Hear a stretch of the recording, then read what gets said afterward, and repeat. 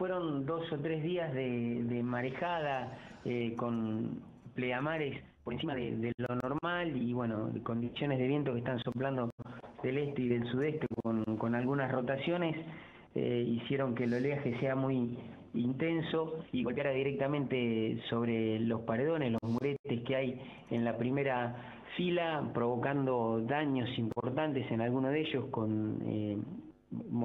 remoción de masa que produjo el, el desmoronamiento de los muros. Bien, ¿esto es un hecho aislado? ¿Se da con frecuencia, lo cual ha de algún modo preparado el terreno para que suceda esto? Es un sector que siempre impacta con mayor potencia, que está más o menos a 500 metros de la escollera norte, eh, eh,